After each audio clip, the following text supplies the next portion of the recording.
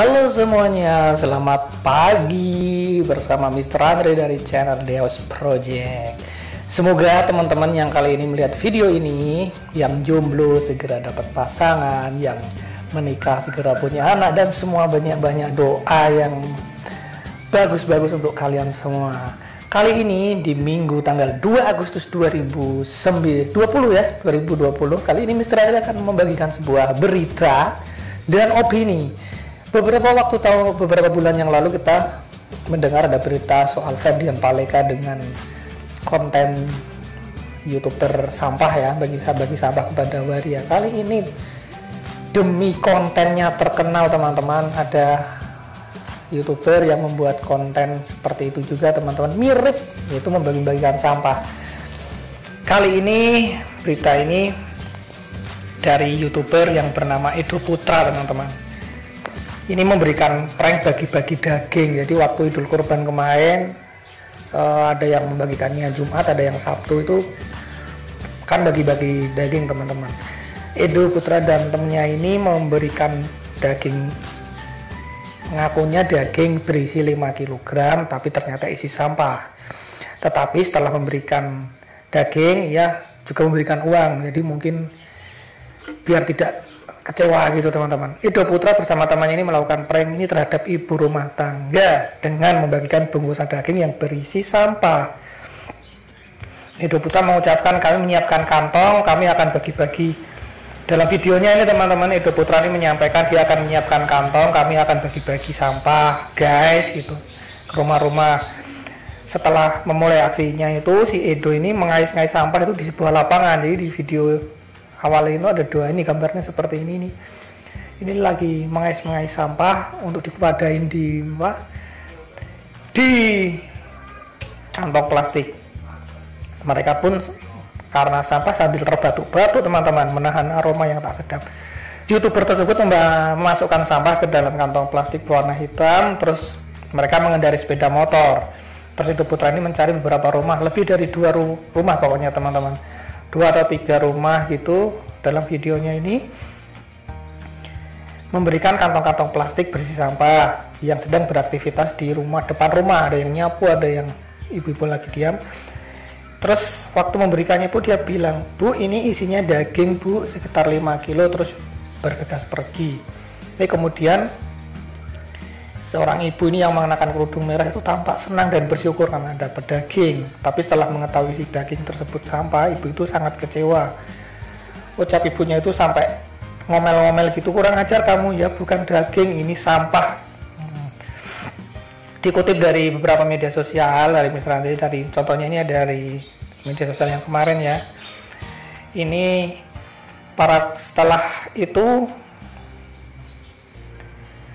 youtubernya ini juga memberikan mak memberitahu maksudnya ini hanya prank dan menjelaskan ini hanya para korbannya minta maaf tak menjelaskan tujuannya. Cuma prank bu buat video minta maaf bu ucapnya seperti itu.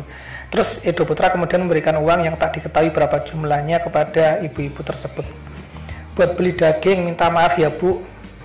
Di akhir video youtuber ini ini kalau nggak salah ini orang-orang Sumatera teman-teman dari seperti orang Lampung atau Palembang. Terus youtuber ini juga minta maaf untuk tidak menghujat aksinya. Kami orang-orang baik guys, demikian seperti itu. Bagaimana teman-teman dengan pendapat teman-teman mengenai video dari Edo Putra ini teman-teman? Emang kita itu kalau pingin viral cepet ya kayak Ferdian Paleka yang kemarin subscribernya aja di bawah 100 ribu ya setelah ada youtuber sampah. Itu sekarang popularitasnya semakin meningkat. Bahkan waktu masih dalam penjara pun dari 80 ribu subscriber sudah naik sampai 150 bahkan kalau nggak salah update kemarin per tanggal 1 Juli pun sudah sampai 250 ya. Begitu gampangnya kita terkenal karena sesuatu sensasi gimmick-gimmick yang kurang apa sebenarnya kurang terpuji. Tapi itulah yang disukai oleh masyarakat kita masyarakat Indonesia bahkan orang-orang yang sebenarnya viral karena suatu hal yang tidak misalnya tidak hafal mengucapkan Pancasila bahkan menjadi duta Pancasila. Seperti itu. Jadi banyak hal-hal yang kurang bagus malah dijadikan itu banyak disukai orang.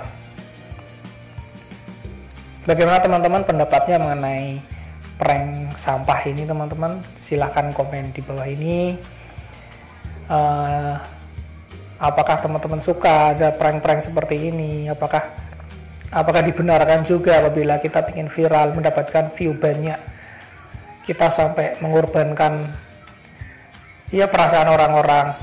Kalau Mr. Andi sendiri walaupun ini saya juga sebenarnya bukan youtuber ya saya itu ngakunya saya adalah seorang tukang mie ayam. Enggak lah sampai seperti itu. Kalau ingin viral tinggal joget-joget aja di lampu merah pakai baju badut joget-joget gitu kan cepat viralnya kayak yang kasusnya kalau nggak salah kemarin demi viral tuh Mr. Andi ngelihat ada yang di apa jalan di jembatan Madura ya Suramadu itu ibu-ibu empat orang ibu-ibu joget-joget biar demi viral. Terus ada juga ibu-ibu di daerah Kalimantan kalau nggak salah demi joget-joget di depan lampu merah empat orang. Tapi akhirnya mereka minta maaf karena dijemput sama kepolisian akhirnya yang bersangkutan minta maaf. Dan masih banyak hal-hal yang demi viral. Dan kalau tidak salah itu ada seorang YouTube juga yang menikah. Ini kebetulan mereka itu konten kreator ya. Menikah dengan mahar sandal jepit. Aneh kan teman-teman? Nikah yang perempuan cantik yang laki-laki ya ganteng juga lah biasa gitu. Tapi mereka populer kemarin beberapa di media sosial utama menikah dengan mahar sandal jetik apa sandal jepit. Setelah ditelusuri dari media-media sosial itu dengan mewawancara ternyata mereka akhirnya mengaku teman-teman bahwa mereka itu melakukan itu demi konten. Demi mereka dilihat view-nya makin banyak. Demi mereka dapat adsense dapat uang. Akhirnya mereka demi mendapatkan uang seperti itu teman-teman.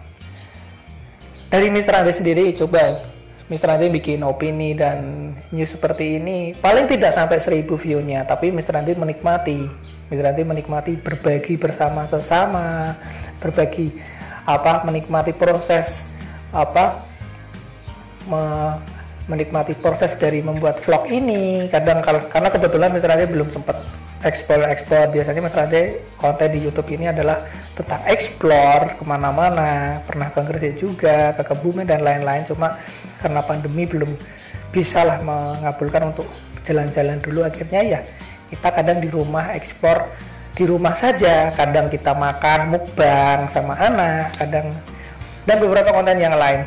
Buat teman-teman yang suka video ini ayo subscribe. Yang nggak suka silakan komentar yang baik-baik saja. Istilahnya kalau teman-teman mau menghujat yang jelek juga mau buat apa teman-teman? Apa teman-teman itu merasa lebih baik dari saya? Secara pendidikan dan lain-lain. Atau apa kamu mungkin secara lebih kaya ya.